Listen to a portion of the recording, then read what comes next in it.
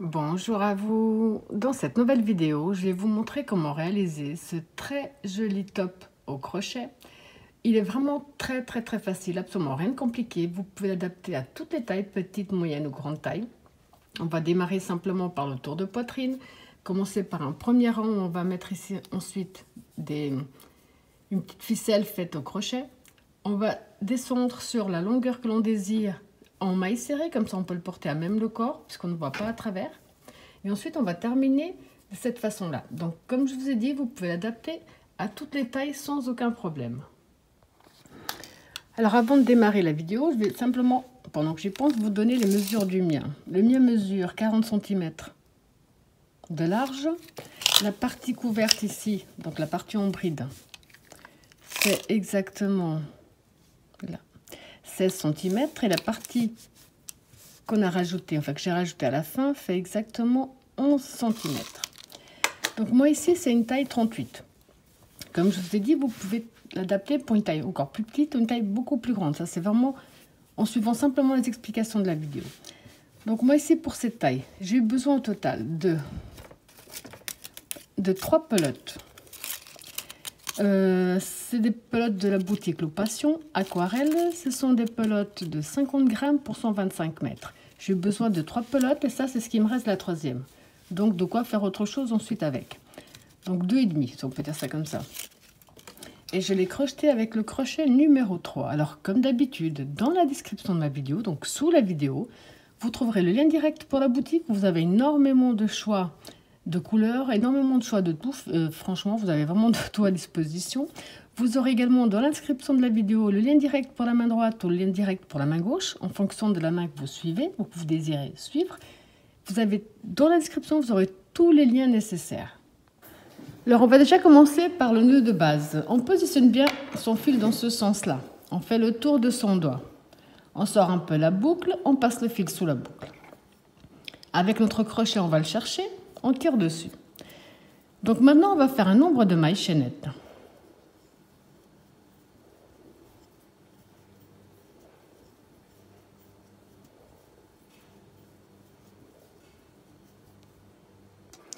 Donc vous allez faire un nombre de mailles chaînettes, déjà qui soit impair et qui fasse le tour de poitrine de la personne à qui il est désiré, à qui il est destiné, pardon.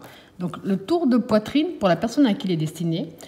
Au lieu de le faire vraiment, par exemple, si vous avez trouvé, on va dire 50 cm, retirez 5 cm. Faites 5 cm en moins de maille chaînette. Parce que comme sur le crochet à la bonne taille, il risquerait de s'élargir. Donc, il risquerait de moins coller au corps. Alors que si on fait, on va dire, entre 5 et 10 cm de moins, ben notre top sera vraiment bien collé et aucune chose de le perdre. Donc, vous allez faire, comme on a commencé ici, un nombre de mailles chaînettes qui soit impair sur le tour, le, tout le tour de la poitrine de la personne à qui il est destiné, moi je vais faire 5 cm de moins que ce qui est demandé. Donc ici, moi, le tour de poitrine, j'ai fait les mesures, c'est 86 cm. Alors j'ai fait un nombre de mailles chaînettes pour faire 81 cm, 5 mm de moins. Donc on va simplement maintenant prendre nos mailles chaînettes à l'endroit vers nous,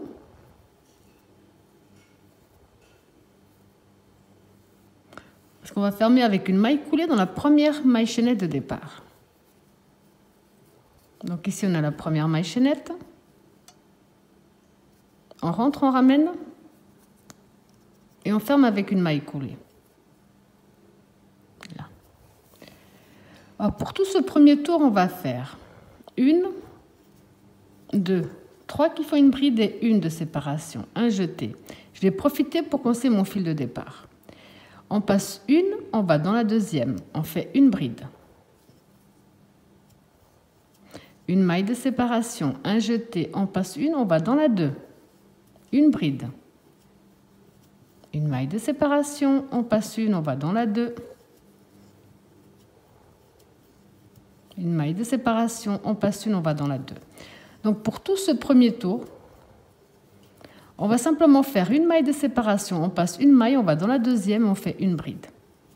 Cette partie-là servira à passer un ruban, un élastique ou un petit cordon, selon le désir. Donc pour tout ce premier tour, vous allez tout simplement répéter ce même procédé jusqu'à la fin.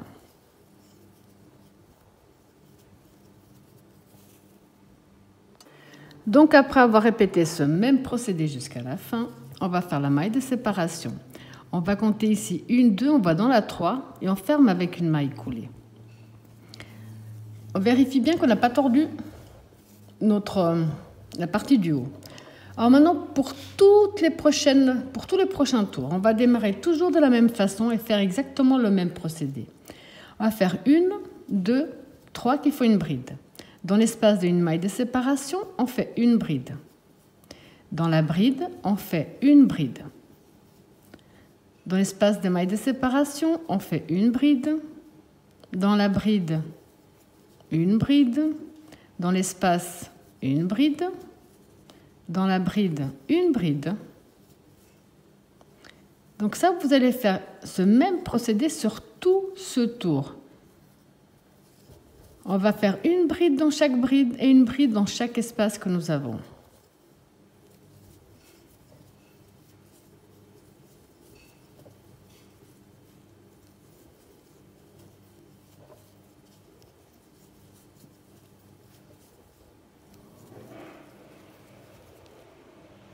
Alors quand on a fait le même procédé jusqu'à la fin, ici, donc je vais faire ma dernière bride,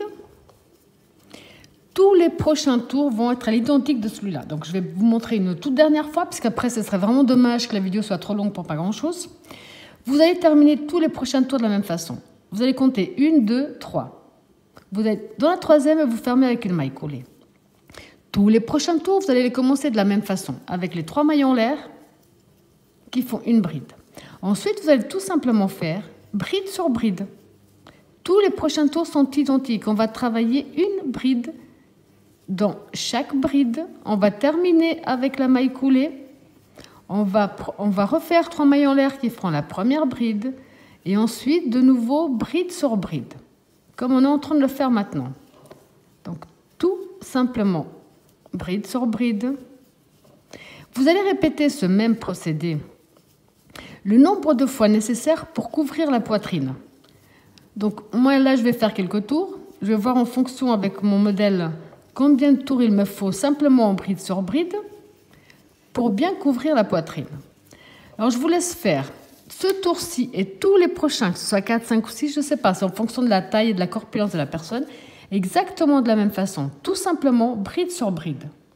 Donc là, je vous montre jusqu'à quel niveau je vais continuer. Simplement bride sur bride, j'ai vraiment couvert toute la poitrine. Donc ici maintenant vous pouvez faire exactement le même procédé qu'on a fait ici, simplement donc une bride, une maille de séparation, une bride, ou alors faire le motif qu'on va faire ensemble. Donc avant de continuer, je vous montre que vous pouvez faire le même procédé pour une jupe. C'est exactement la même chose, la même façon de procéder et de continuer. Donc là, moi, ce que je vais faire, je vais faire 5 mailles en l'air.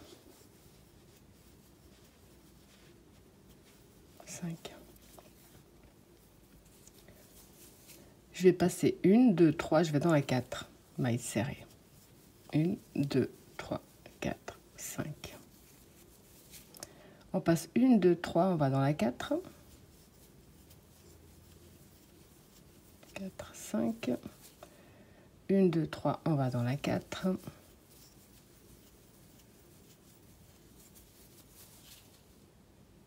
On va dans la 4.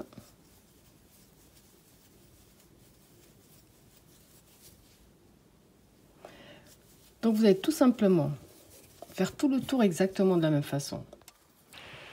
Dès qu'on a fait tout le tour exactement de la même façon, j'ai fait mes 5 mailles de séparation, je vais entrer ici dans ma première maille en l'air et je vais fermer avec une maille coulée. Tous les prochains tours vont être identiques. On va avancer en maille coulée jusqu'au 2, jusqu'à la troisième maille.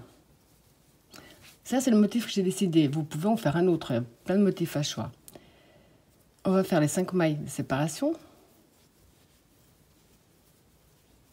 Dans le cercle suivant, on fait une maille serrée. 5. Dans le cercle suivant, maille serrée.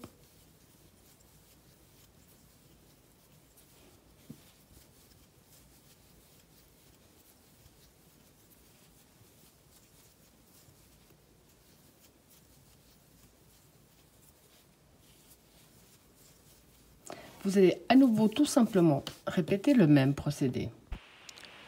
Alors à nouveau, quand on a fait tout le tour, on va fermer exactement de la même façon. Donc là, je vais vous montrer une toute dernière fois. Alors tous les tours, on va les terminer de la même façon. On a fait les 5 mailles de séparation, on va rentrer dans notre première maille de départ. On ferme avec une maille coulée. Tout nouveau tour, on va avancer jusqu'à la troisième maille, donc jusqu'au centre, en maille coulée. Et tous les nouveaux tours, on va les démarrer de la même façon. Les 5 mailles de séparation, dans l'espace suivant, la maille serrée.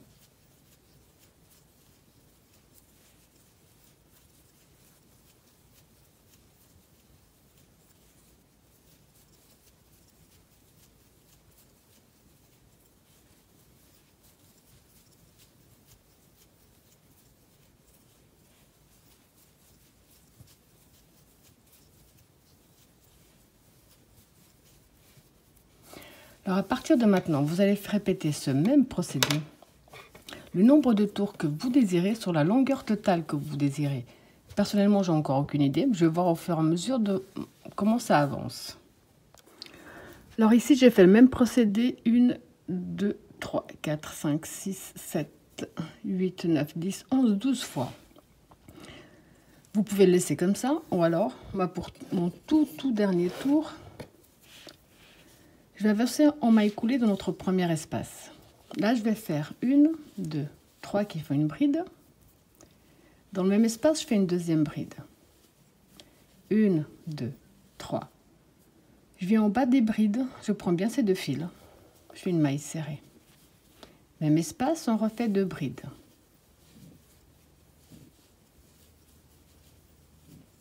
Un jeté, espace suivant, deux brides.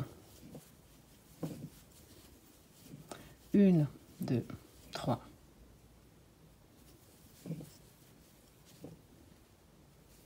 Même espace, deux brides à nouveau.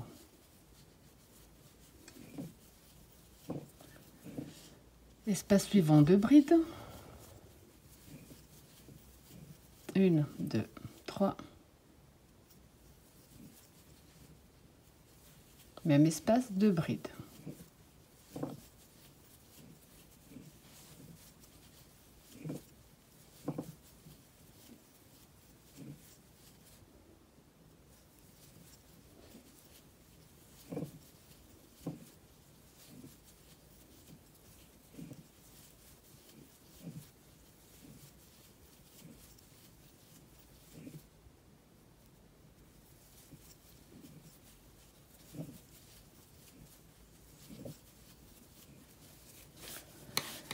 C'est simplement pour faire une finition différente. Donc, je vais vous laisser faire le même procédé ici jusqu'à la fin.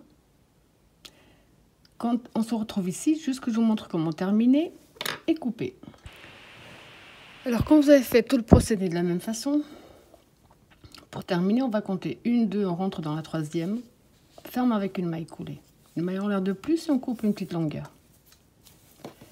Donc ici maintenant, on doit tout simplement cacher nos fils. Dès qu'ils sont bien cachés, on va les couper.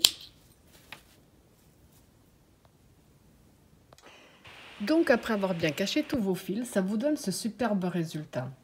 Ici, bien entendu, vous pouvez très bien faire des, bretelles en suivant le même procédé qu'on a fait là.